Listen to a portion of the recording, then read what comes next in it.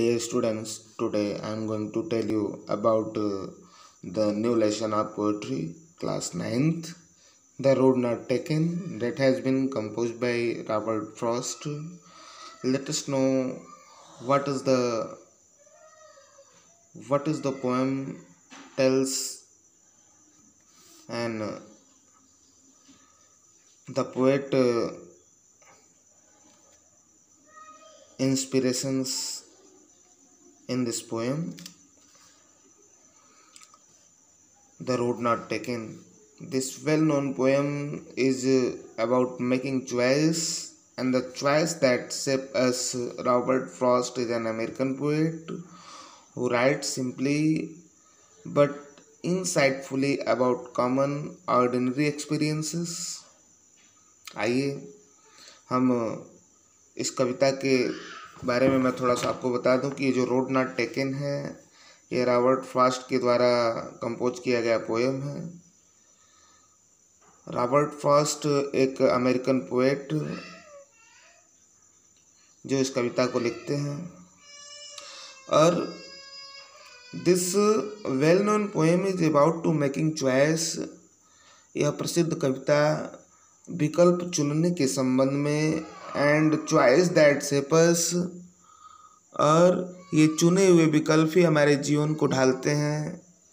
Robert Frost is an American poet who write simply Robert Frost एक American कवि हैं, जो सामान्य और insightfully about common identity experience साधारण अनुभव को सादगी किंतु अंतर्दृष्टि से लिखते हैं, अर्थात अपने विचारों को लिखते हैं। तो आइए हम अब कविता के माध्यम से जानते हैं कि इस कविता में क्या दिया हुआ है। The two roads diverged in yellow woods and I and sorry I could not travel both and be one traveller long I stood and look down one as far as I could to where it bend in the undergrowth देखिए, इसके कुछ meanings हैं, मैं आपको बता दूँ। जैसे diverse diverse का मतलब होता है सेपरेटेड विभक्त हुआ, बटा हुआ। फिर एक और मीनिंग है एलो वुड एलो वुड का मतलब होता है पुराना जंगल, अर्थात जिस जंगल में एलो इसलिए बोला है क्योंकि वहाँ की जो पत्तियाँ वगैरह हैं, सूख चुके हैं एलो वुड बोल रहा है। और फिर लास्ट में कह रहा है कि लॉन्ग लॉन्ग का मतलब यहाँ काफ़ी देर तक और स्टूड खड़ा हुआ बेंट झुका हुआ, ठीक है? लास्ट में, और अंडर ग्रोथ अंडर ग्रोथ का मतलब होता है जो झाड़ियाँ वगैरह हैं, उनके लिए अंडर ग्रोथ कर रहा है। और बेंट में झुका हुआ तो ये इस स्टेंजा के इम्पोर्टेंट मीनिंग हुए आइए, अब इसका हम हिंदी अर्थ बताते हैं। कह रहा कि the two two roads diverged in yellow woods and sorry I could not travel both but be one travellers long I stood and look down as far as I could to where it bent in the undergrowth मतलब कह रहा कि the two road diverged in yellow wood पीले पत्तों अर्थात उन जंगल, पीले पत्तों वाले एक जंगल में दो सड़कें भिन्न भिन्न अपने दिशाओं में विभक्त हुई, अर्थात पीले जंगल में, अर्थात उस प्रकार के जंगल में, जिस जंगल से कवि जो है वर्णन कर रहा है, जिस जंगल का वर्णन कर रहा है, उस जंगल में दो जो है रास्ते विभक्त हो रहे हैं। And sorry I could not travel both और मुझे खेद है कि मैं अकेला यात्री होने के कारण दोनों सड़कों पर यात्रा नहीं कर सकता, दोनों सड़कों पर नहीं जा सकता। And be one traveller long I stood. क्यों? क्योंकि मैं वहाँ लंबे समय तक खड़ा रहा, अर्थात वहाँ पे जब वो देखता है कि दो रास्ते हैं तो वह जो है आश्चर्यचकित होता है, कहता है, किस पे जाऊँ और किस पे न जाऊँ? वही कह रहा है कि एन बी वन ट्रेवलर और एक यात्री होने के नाते लॉन्ग आई स्टूड। मैं वहाँ लंबे समय तक, अर्थात वहाँ पे मैं खड़ा रहा और and look down as far as I could और मैं क्या किया? एक ही तरफ़, अर्थात जहाँ तक मेरी दृष्टि जाती है, उन सड़कों में से एक ही तरफ़, अर्थात दोनों सड़कों में एक ही सड़कों पर जहाँ तक मेरी दृष्टि जाती है, वहाँ तक देखता रहा। To where it bent in the undergrowth जहाँ तक मैं देख सकता था, उस बिंदु तक जहाँ तक झाड़ियों से मुड़ जाती थी, अर्थात उस बिंदु तक मैं देखता रहा, जहाँ तक झाड़ियाँ मुड़ जाती थी। और ओझल हो जाती थी। मतलब इसके कहने का अर्थ ये है कि जिस समय वो जंगल के दृश्यों को देख रहा है, जंगल में देख रहा है तो दो रास्ते वहीं से विभक्त हो रहे हैं, बट रहे हैं। कह रहा है कि मैं किस पे जाऊँ और किस पे ना जाऊँ, मुझे खेद है कि मैं अकेला यात्री हूँ, लेकिन मैं कैसे दोनों रास्तों पे यात्रा करूँ? इसलिए एक ही रास्ते को देखता रहा और वहाँ पर खड़ा होकर के उतनी देर तक देखा, जहाँ तक कि यह रास्ता उन जंगल झाड़ियों की तरफ़ मुड़ता हुआ और अपने आप को उस जगह तक जाती है, जहाँ तक उसकी आँखें देखते देखते ओझल हो जाती हैं। तो आइए अब हम सेकेंड पैराग्राफ पे चलते हैं।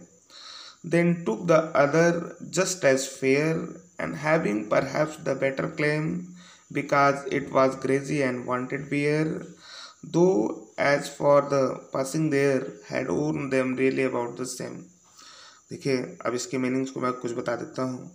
कह रहा है कि फेयर फेयर मैंने यहाँ अच्छा होता है फेयर मैंने अच्छा। और फिर कह रहा है कि क्लेम क्लेम मीन्स होता है दावा करना।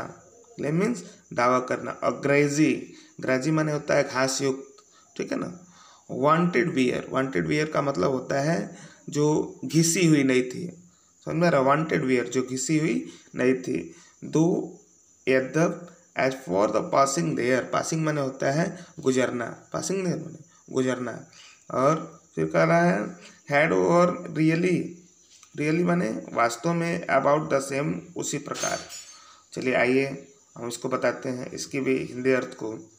Then took the other just as fair किंतु, अब फिर वहाँ पोइट कर है, किंतु फिर मैंने दूसरी सड़क को अपनाया, अर्थात जो दूसरा सड़क वो अपनाता है जो कि पहली सड़क की तरह ही सुंदर थी जस्ट एज फेयर उसी तरह सुंदर थी and having perhaps the better claim और शायद इस सड़क का भी दावा ज़्यादा अच्छा और मज़बूत बनता था। वह सड़क भी ज़्यादा अच्छा और मज़बूत था because it was grassy and wanted wear क्यों?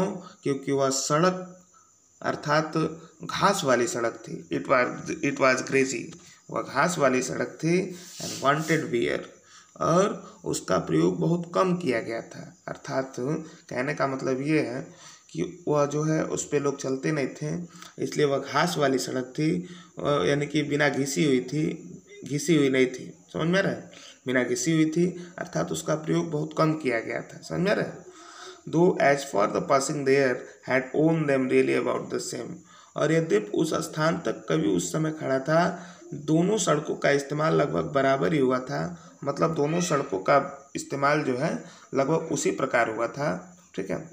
आइए, तीसरा स्टेंजा हम चलते हैं।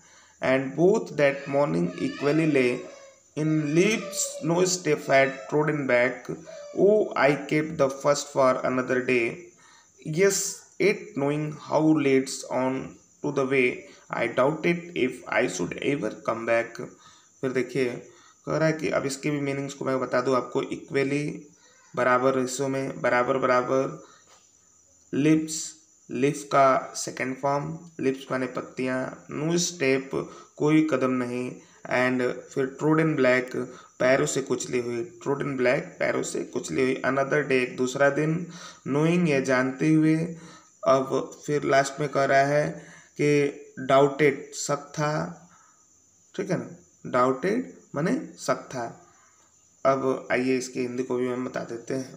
कह रहा है कि and both that morning equal फिर, मैंने सड़कों पर उस सुबह पीले पत्तों से ढकी हुई थी। यानी कि जो सड़क पीले पत्तों से ढकी हुई थी in leaf no step had road and black ये पत्ते यात्रियों के पैरे से, पैरों से कुचले न जाने के कारण काले नहीं पड़े हुए थे। मैंने उस पर कोई कदम जो है यात्रियों का नहीं पड़ा हुआ था, इसलिए वो काले नहीं पड़े हुए थे। मेरा ओ, I kept the first for another day. फिर कह रहा, ओ, मैंने पहली सड़क पर फिर किसी दिन यात्रा करने के लिए छोड़ दिया। कह रहा, मैंने ओह मैंने पहली सड़क को फिर किसी दिन यात्रा करने के लिए क्या कर दिया? छोड़ दिया। लेकिन, फिर कह रहा विकास sorry oh I kept the first day for another day, मैंने पहली सड़क को किसी और दिन यात्रा करने के लिए छोड़ दिया। Yet knowing how leads on to way. फिर भी कह रहा कि लेकिन यह जानते हुए भी कि कैसे एक रास्ते से दूसरा रास्ता निकल जाता है। कह रहा कि ओ I kept the first for another day, yet knowing how way leads to way. एक रास्ते से दूसरा रास्ता कैसे निकल जाता है? Out, I doubted. मैं डाउटेड किया। अर्थात मुझे संदेह हुआ, क्या I doubted if I should ever come back कि मैं इस सड़क पर यात्रा करने के लिए वापस भी आ पाऊँगा? मुझे यह संदेह हुआ। ठीक है? आइए। लास्ट स्टेंजा बचा हुआ है। इसका अर्थ हम बताते हैं आपको।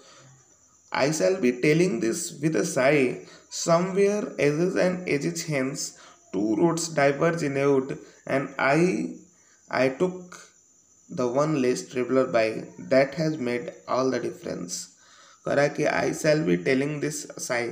कुछ मीनिंग्स है इसको मैं बता देता हूँ। साई का मतलब होता है आहे भरना, और फिर जो है लस लेस ट्रेवल्ड का मतलब होता है यात्रा के लिए कम उपयोग में लाई गई, और फिर कह रहा कि ages and ages ages age ages मैंने मैंने काफ़ी लंबे समय तक गुजर जाने के बाद। समझ रहे तो आइए।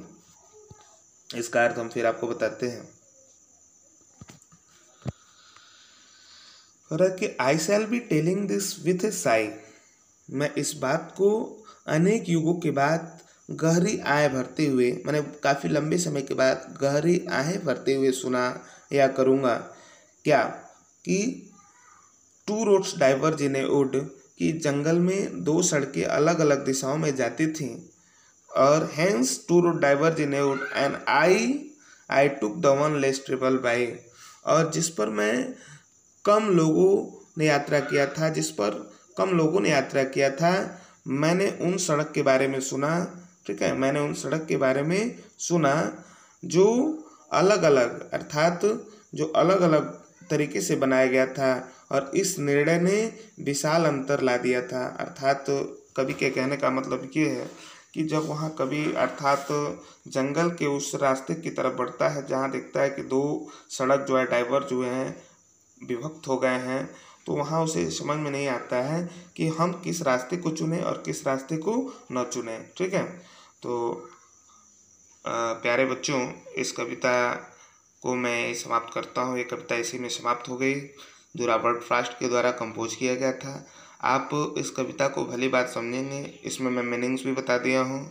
मैं जानता हूँ कि यूपी बोर्ड के बच्चों के लिए नई कविता होंगी। आप इसे बार बार देखें और समझें। धन्यवाद।